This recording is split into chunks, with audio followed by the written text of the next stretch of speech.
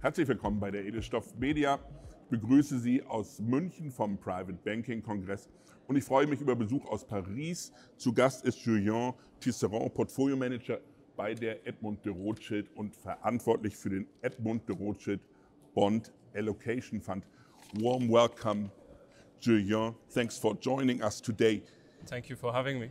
Thank you. Can you give us, uh, let's say, some kind of global outlook or some kind of current, what does the current geopolitical development means to your market?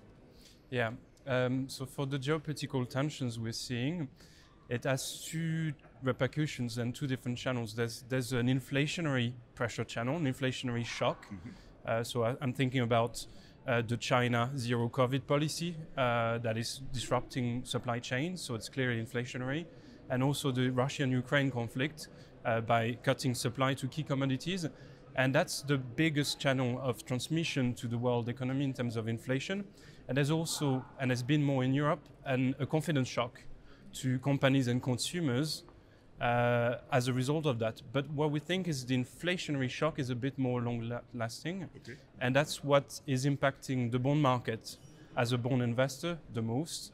Uh, and we've seen inflation expectations in the bond market rise as a result, and bond yields rise as well in tandem uh, in the US, in Europe uh, as well. For German, especially for German investors, yeah. uh, high inflation is a super monster. Yep. They fear inflation because they are not everyone is linked to the equity market nor the bond market. They they fear it. Yep. Do you expect a double-digit uh, inflation rate? So we we can't rule it out completely. We have to be humble, and and there's this, there's a lot of uncertainty. We haven't had I would say, a normal economy, a normal economic cycle since the COVID period. There's been on and off COVID lockdown and supply disruption around the world uh, with reopening. And so we have to be humble. We, we can't exclude it, but it's not our base case. The base case is that inflation is actually in the process of peaking in Europe, in the US as well. Uh, we've seen a high number, close to 8% in, in the Eurozone. We should see this, this as a high plateau. So the next three, four months, should, we should still see high inflation, but closer to 7%, and then slowly coming back down in terms of year-over-year numbers because of base effects from last year. And this is with a view that commodity prices, especially electricity prices in Europe, linked to gas, mm-hmm. and also oil, stay relatively where they are. So uh, Brent oil around 100, 105 dollars. Mm-hmm. Uh, if that changes for any reason, then we'll have to review and revise this outlook. And what do you expect the central banks to do? So, and that's where we, we agree with the view that um, the ECB is feels, or the, some German people or German politicians, and we've seen across Europe as well, feeling central banks are behind the curve, and it's been the same in the US. So central banks are rushing into uh, getting their risk management hat on to, to combat inflation we think they, they are right. Uh, and they're also right in the way that the Fed has to tighten and has to be quicker than the, B, the ECB because inflation in the US is, is a lot more anchored. Mm-hmm. Uh, core inflation is 6.5%. In Europe, core inflation is 2.9. So it's above central bank mandates in both regions. But the inflation we see in Europe, it's a lot about energy. 70% is energy related. And this is the central ba- something the central bank can't really fight because of disruption. And as a result, shouldn't overreact to it. Whereas in the US, a lot of inflation is wage related because of the pressure with the labor market. And as a result, the Fed is right that it should react more there. So, can we, yeah. Can we briefly talk about your investment strategy? Uh, it's a very special strategy. What does it in, in which way does it differ from your competitors? So the fund I co-manage, so EDR Bond Allocation, in its name is a bond allocation fund, and it has a few levers uh, that it can use. So we use a modified duration between minus two and plus eight. So we're very flexible on duration.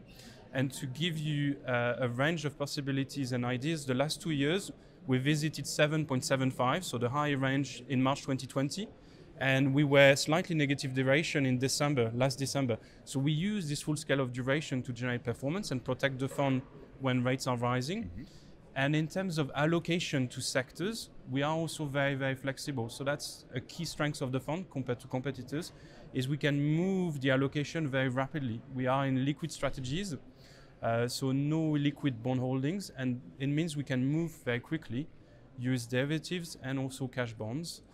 And another example is in March 2020, the fund was owning about 70% of credit CDS protection, which is helped absorb the drawdown of the, the COVID you know, market drawdown. Mm-hmm.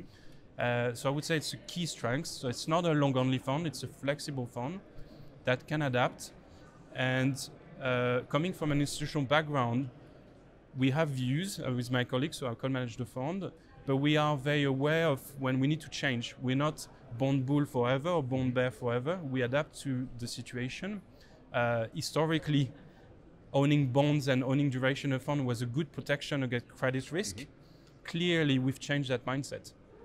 Duration is now not a credit protection anymore, or hasn't been, and reducing your credit risk in your fund and owning more CDS protection has been a better call lately uh, than, than owning duration. Using this flexibility in your portfolio, yeah. what is the or what comes on the table right now for the next month? Yeah, so as I mentioned, so duration was no longer protecting us because of the rising inflation pressure. Um, we think now, to some extent, US yields, where they are, you know, touching 3 to 75, 3%, they are pricing a Fed that is already relatively restrictive. So we feel duration is again can be used as a tool to protect against downside in growth. Um, so we've added back some duration. So we had uh, close to uh, very low duration. Now we're closer to 2.8 years of duration uh, currently in the fund. Uh, essentially in the US, Australia, Canada, so high beta countries that have yields that moved up and can absorb uh, a, sh- a, growth shock and yields can go down. Uh, in terms of credit asset classes, where we prefer to be invested is on shorter duration asset classes in Europe. So short-dated US, uh, European high yield and short-dated European IG are some of the preferred calls.